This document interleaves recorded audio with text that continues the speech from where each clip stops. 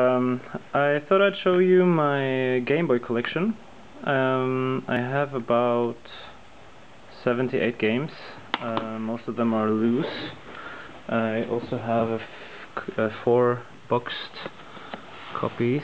Uh, I forgot them in the shelf here now, sorry. Uh, Pokemon Red and Xenon 2 and Marble Madness, which is actually sealed I'm not gonna open it because I already have Marble Madness for other consoles, so and Donkey Kong Land. And that's it for the boxed ones. Um, I'm gonna go through my my loose copies here. We have Tetris, which is the most classic of all Game Boy games, I would say. Um, the Jetsons uh, it's from Taito, but it's nothing. It's not not so great. I don't know. I was playing it for quite a while and I just got kind of frustrated with it. Uh, would not necessarily recommend buying it. We have Bugs Bunny Crazy Castle. I really like the Crazy Castle games. I think they're they're quite nice. Actually, Paperboy 2 think there are better Paperboy versions on other consoles. Uh, the Jungle Book.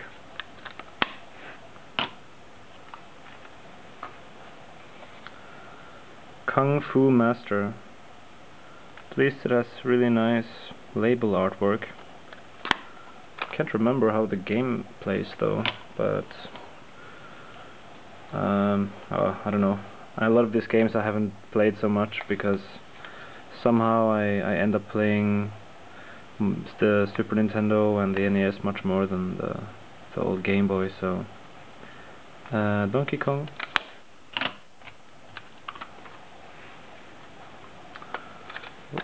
Uh, Final Fantasy Mystic Quest. Okay here's a really nice one. Um, I think it's um, connected to the Ghost and Goblins universe. It's Gargoyle, Gargoyle's Quest.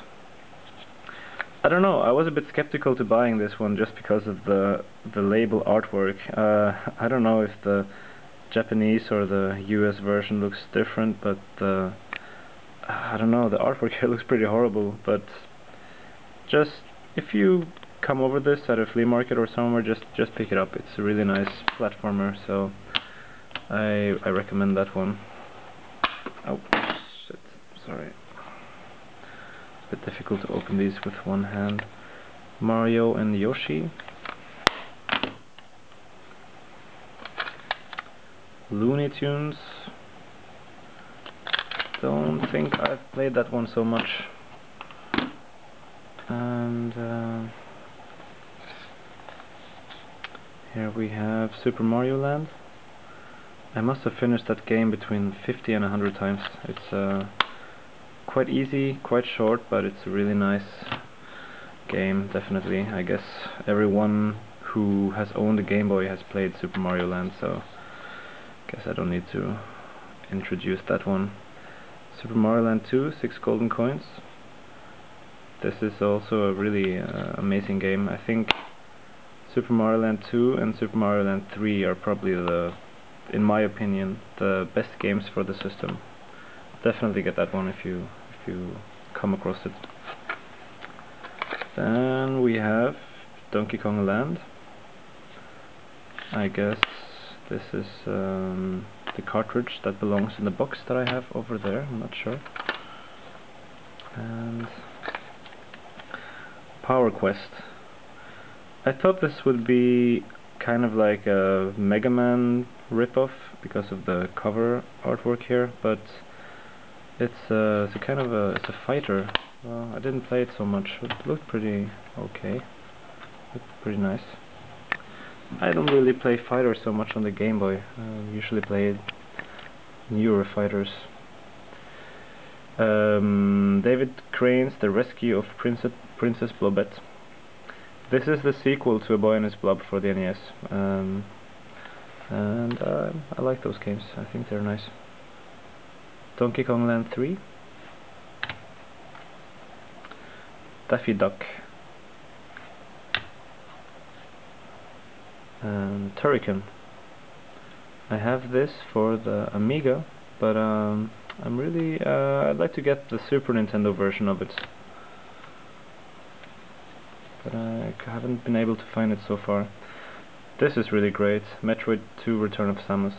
It's um, also one of the best for the Game Boy, so definitely get this one if you find it. Oh. See if I can open this. Um, Gremlins 2, the new batch. It's made by Sunsoft, so I thought it would be a bit better than than it is. It's a pretty decent platformer, but nothing too special. And then we have Wario Blast featuring Bomberman. It's um, it's Bomberman, and I really like Bomberman, so um, I would say definitely get it. It's uh, if you like Bomberman, then, then you should get that one. It's a really good Bomberman game. Uh, Balloon Kid, also a good one.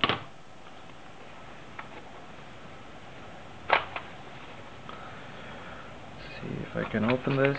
Um, Pinball uh, Revenge of the Gator. It's a nice pinball game.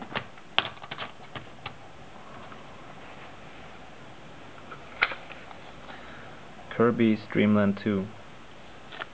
I finished the first one, but I haven't uh, gotten around to playing this one so far.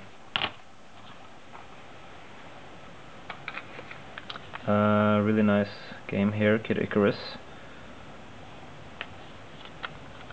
It's the it's, it's the sequel to the the one on the NES, I think. It came after the NES game. Double Dragon 2.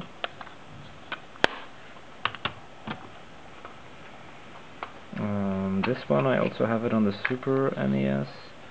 Zool, Ninja of the Nth Dimension. It's a platformer, which is a quite decent platformer. Uh, I think this might be called something else in the in the States. I'm not really sure. Uh, it was one of my favorite arcade games as a kid. Uh, and yeah, it's a pretty nice port on the Game Boy. And lastly, for this first part of my video, we have Bubble Bobble.